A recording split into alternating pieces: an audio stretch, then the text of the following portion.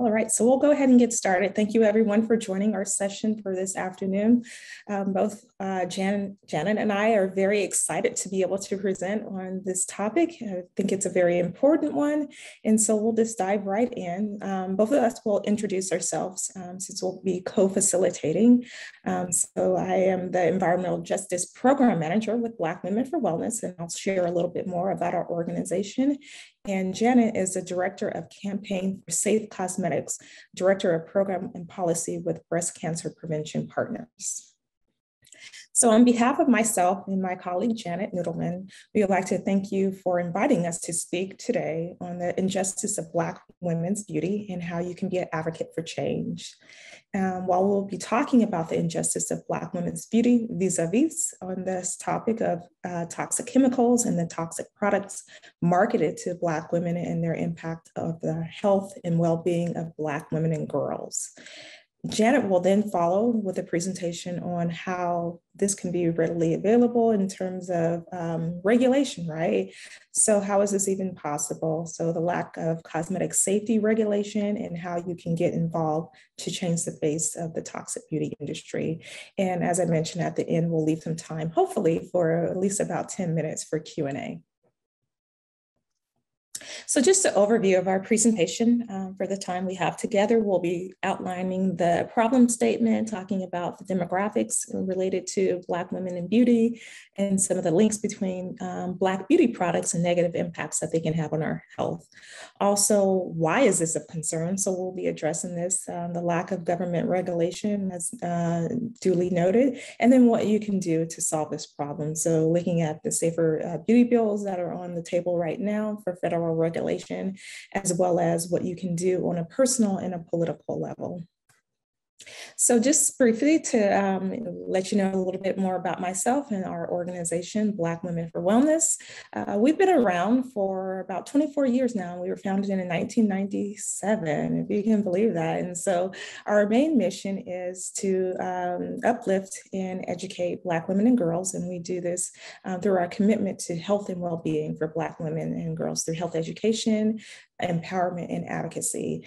As the manager for the environmental justice program, we look at a variety of things. If you think about it, um, every day you're interfaced with something, whether it's from waking up to the water you're able to drink, um, having access to clean air, um, also in personal, you know, care products in terms of beauty aid, hair care, um, and personal hygiene. So all of these are addressed through what we do at Black Women for Wellness in terms of looking at communities of color and how we can eliminate um, systemic racism and bring about change for um, better regulation.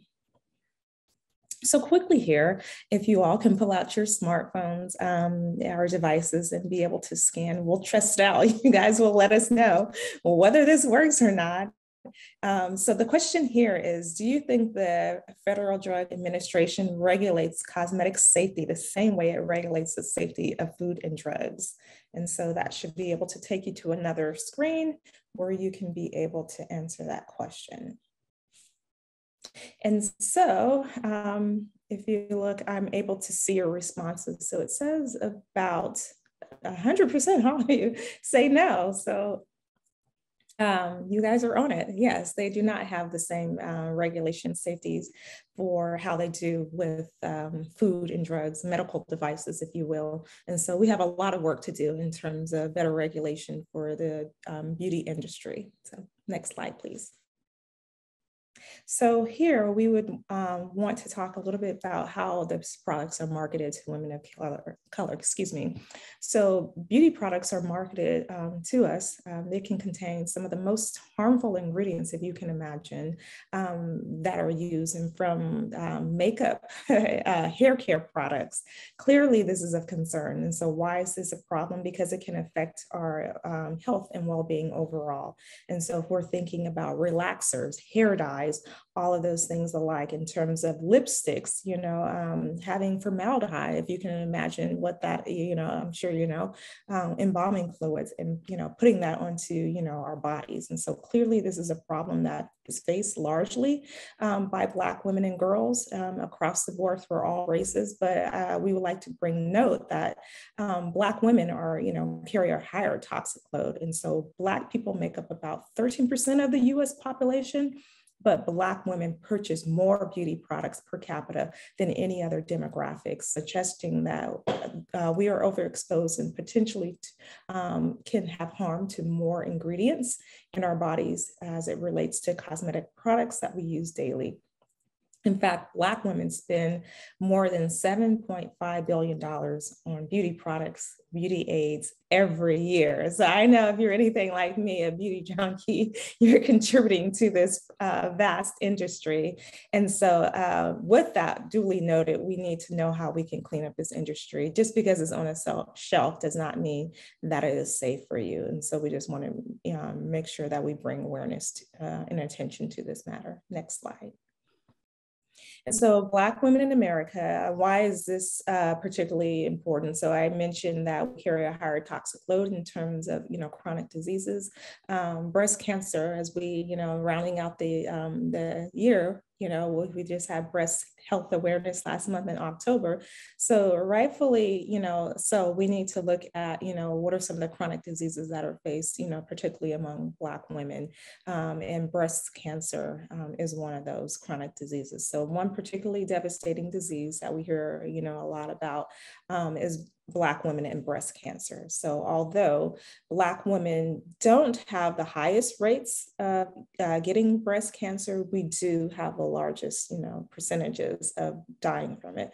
And this, as you can see here noted um, in the second to last bullet point, is because we uh, get the most aggressive forms. So, this is um, in particular of concern. It's the triple negative breast cancers, um, the risks that we face in this um, in relation to this. So Black women have at least about a 31% of breast cancer mortality rate and uh, 41% higher than white women, white or Caucasian women. And young Black women under 45 have a higher rate of breast cancer than Caucasian women, as well as Black women have a higher rates of the triple negative breast cancer, which is the most aggressive form, as I noted.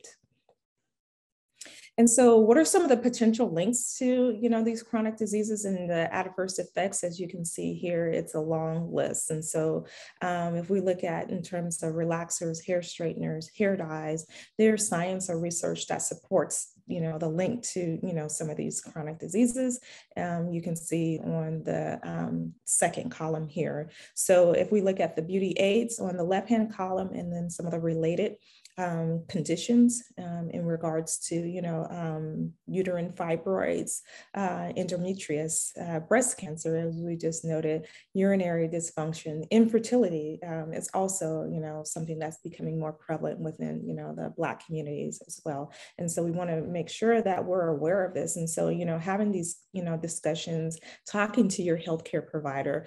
Um, so if there's anything of concern that you may, you know, notice that is, you know, out of the norm, um, um, where you may, you know, um, have, you know, a certain odor or smell, and you go to your healthcare provider to be, you know, able to be treated to that, to be able to, you know, have a discussion, um, but also knowing what you can do on your own. And so we don't necessarily recommend um, personal care, personal hygiene care products, such as like douches. I'm sure you all know this, feminine sprays and wipes, because this can disrupt your, you know, reproductive system. And so taking, you know, consideration of the products that you use. Next slide um, with Black Women for Wellness, want to make um, note that we have a, a great uh, study that we're, you know, putting in um, into place with Occidental College um, here in Southern California, as well as with the data that's supported by Silent Spring Institute.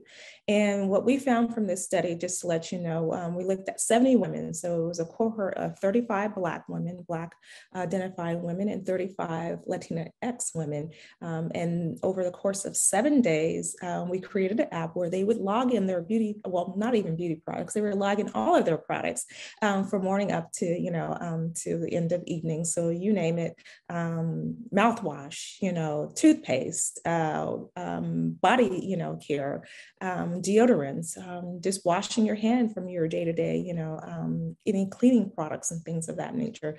And so at the end of the seven weeks, we took the uh, biomarker, which is urine samples, and we were able to send that off to the lab to see what products came up and what were some of the highest used products among the participants in the studies. And so what we learned from this is that women in the study reported to you on average to use about about eight products um, throughout the day. And I know uh, prior to this uh, um, discussion and planning, Janet and I had the discussion, and she asked, you know, um, just as a curiosity, how many products, you know, does one use? And particularly me, you know, asked that question. And I said, hmm, just, you know, throwing out a figure of about six, and I'll share on the next slide. You will be amazed about, you know, number of products that we use to interface throughout the day. And so on the lower side, uh, eight products is really good. And so with um, some of them using up to 30 products, which is, you know, rightfully so. If you, you, know, add in sunscreen, nail polish, you know, you name it. And so uh, for 28 of the 54 products that we saw throughout the, you know, study,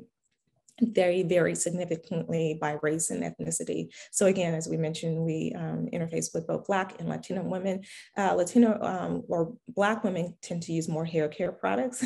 so yes, uh, we know natural hair definitely does take a lot of work. And the Latin um, X um, women, they tend to use more of the beauty products. And so um, wanting to make note of the products that we use. And so here, 70% of women prefer scented versions of the products that they use. And so another thing that um, Janet will be talking about in terms of regulation is synthetic fragrance. And so I'll leave that for her, why that's so important to bring notice of the products that you use in the fragrance um, um, that is contained in. And so um, we're still working with this study. Um, we just did a round of focus groups to be able to match that with some of the qual qualitative data um, to get the narrative on, you know, behind why they use the products that they choose to use. Next slide.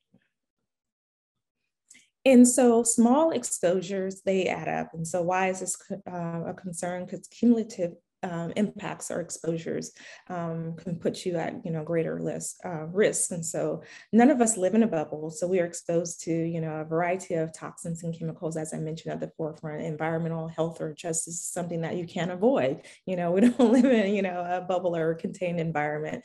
And so from where you live you know your street your neighborhood you know um, a, a, variety of different things. And so being mindful um, from the time we wake up in the morning to the time we go to bed as i mentioned about the products that we use, uh, especially if you're a reproductive age, you know, family planning and planning to have a family, how that can have an impact on you and your family and your partners.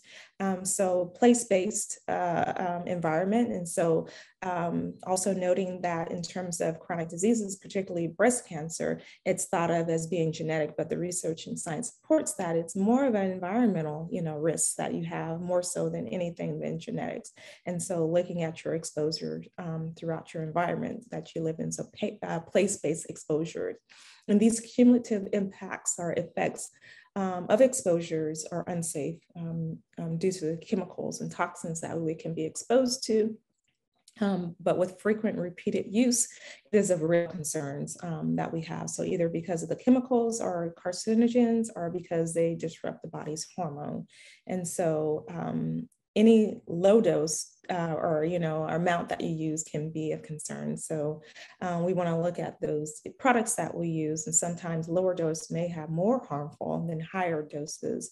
Um, if you turn, uh, you think about, I think I was in on um, one of the other discussions, of Crown and talking about you know some of the products that use and may may contain you know mercury in there, which is you know oftentimes used in skin lightener treatments, and so you may use just think, oh well, I don't use you know a lot of it, but you know even there's no you know um, what should I say, um, baseline or low data, you know, or low amount that you can use that can still have, you know, impacts on that. So even, you know, the minor things that you can use throughout your day or in your products can have, you know, large and long-term effects. And so timing matters. So the periods in our lives. And so I described, this window of time, especially, you know, for those that are in their reproductive um, stage of their life, um, can have impacts on their, you know, fertility um, and their impacts their ability to, you know, conceive and to be able to, you know, have a um, um, family planning. So we want to look at that. So, you know, timing of exposures.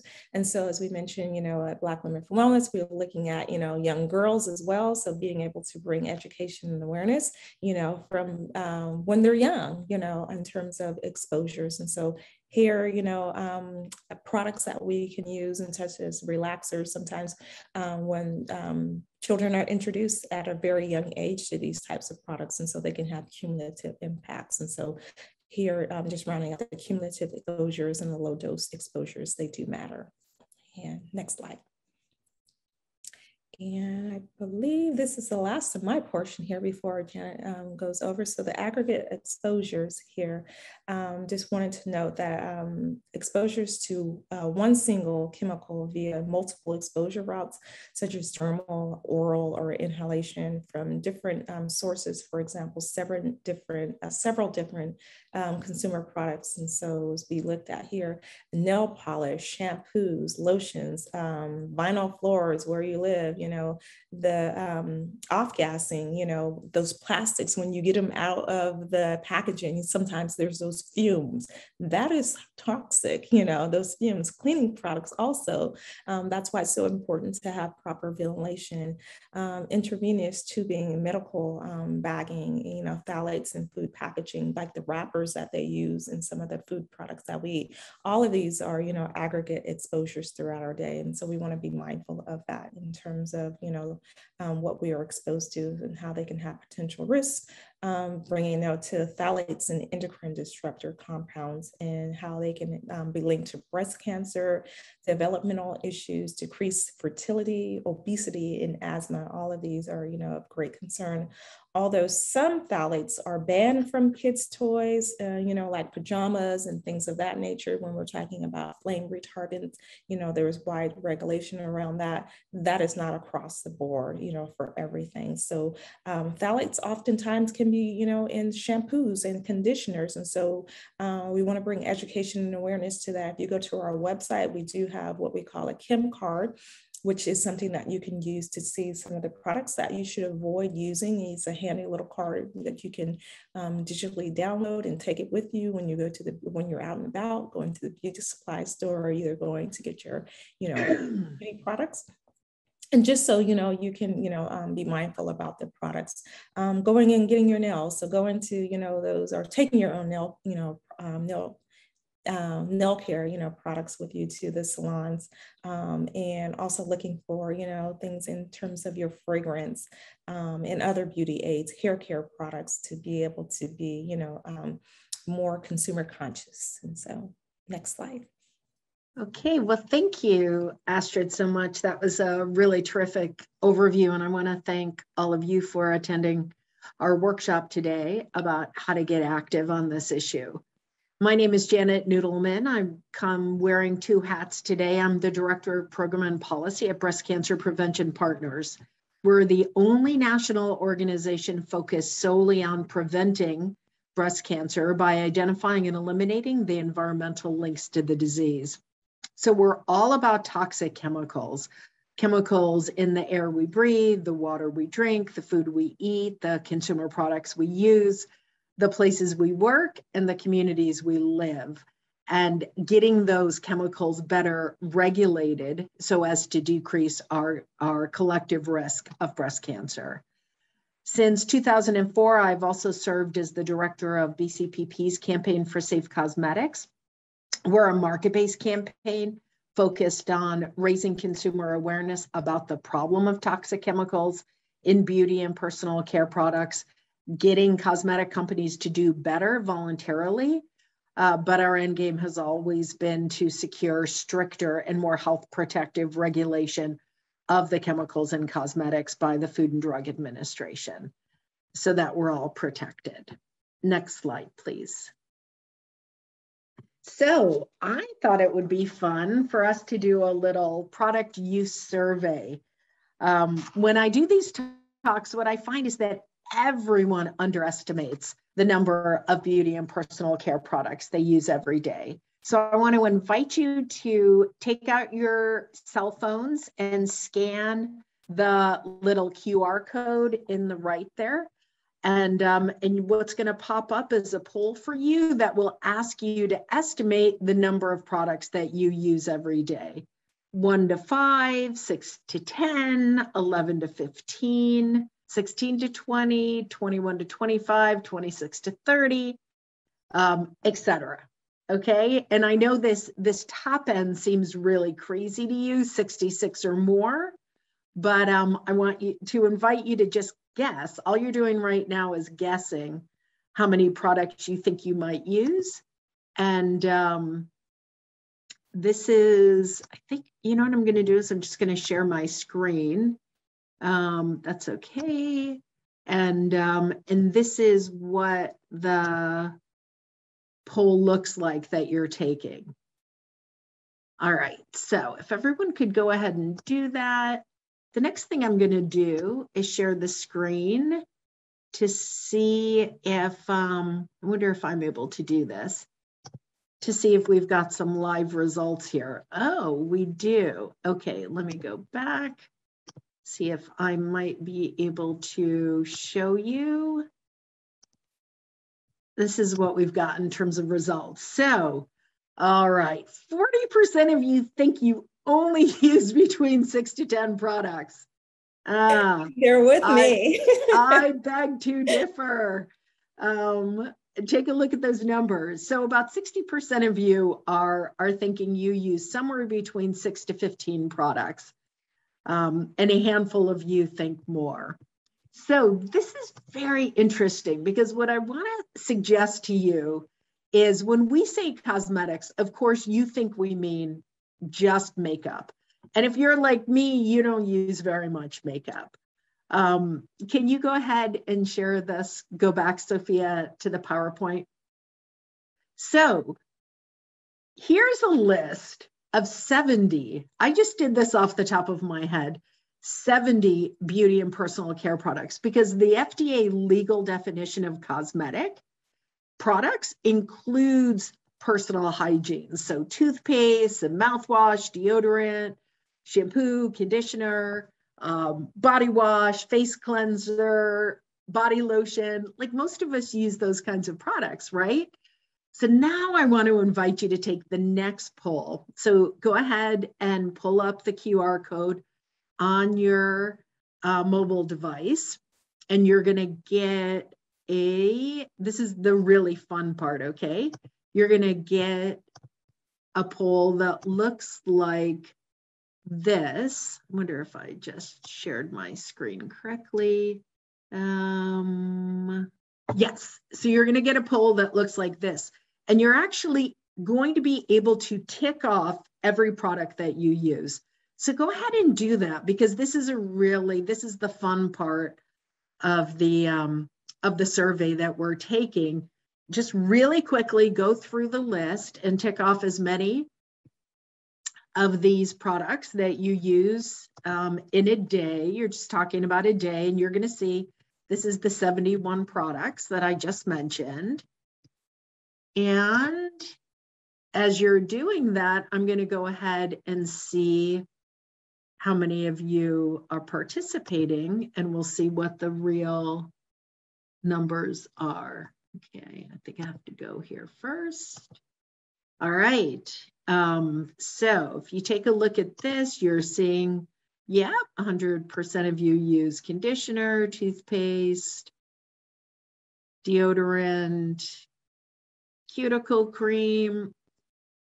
So this, this is a little harder, right? because 71 products, you're not going to be able to get through this list pretty that quickly. But if, you know, even down toward the bottom, we're looking at like bath oil, blush, body oil, sunscreen, etc. The point here, and you can go back, Sophia, to the PowerPoint if you don't mind. The point that we're trying to make here is that you would be really surprised at how many beauty and personal care products you use. And the point is, they add up. back in the day, the Campaign for Safe Cosmetics did a product use survey of Americans, and this was about 10 years, 15 years ago. And what we came up with was a super conservative number, and that is that Americans use somewhere about an average of 12, a dozen personal care products every day. And just by using 12 alone, um, you are exposed to 126 unique unique chemicals, many of which are linked to adverse health effects. And this is a real problem because you might be surprised to know that the cosmetics industry uses 10,000 chemicals, industrial chemicals, to manufacture the beauty and personal care products we use every day.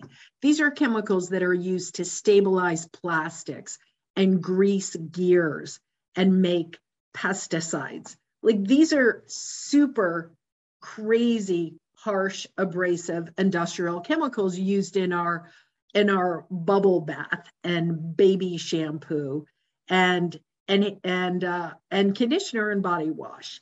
Um, and the U.S. law that exists currently today to regulate those 10,000 chemicals was enacted over 80 years ago and it has only been updated twice since then. The US federal law is that exists is two pages. We have two pages of federal law to regulate a $100 billion domestic cosmetics industry and a $220 billion um, um, global cosmetics industry.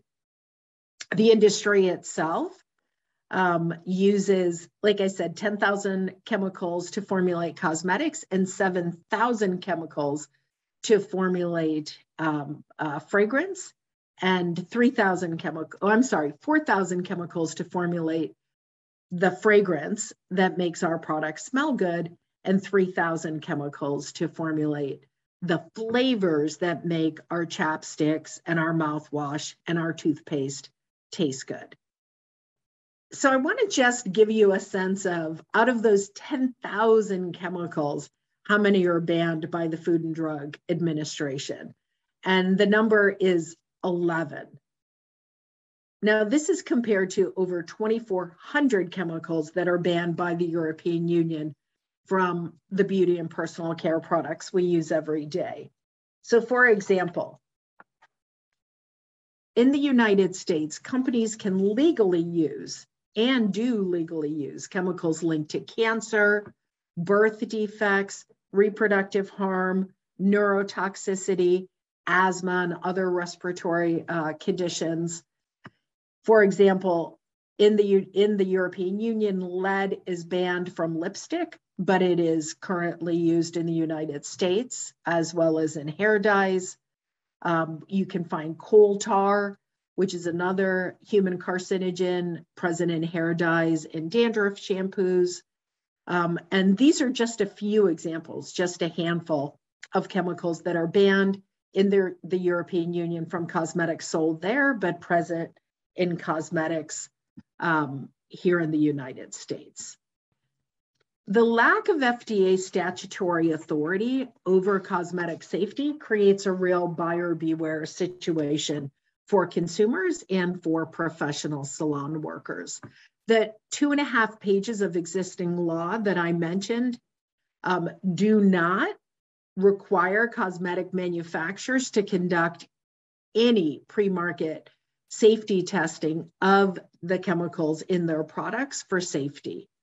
Uh, which means a cosmetic manufacturer can use virtually any raw material as a cosmetic ingredient without any FDA pre market safety testing or review. And what that also means is that the FDA can't issue mandatory recalls of cosmetic products, even if they're harming human health. And we saw this when the newspaper started screaming about the presence of asbestos in kids' cosmetics sold by Claire. And the FDA could not insist that Claire's Klare conduct a mandatory recall of those products. We've also seen the problem of asbestos in talcum powder sold by Johnson & Johnson, formaldehyde in hair straightening products, and the list just goes on and on.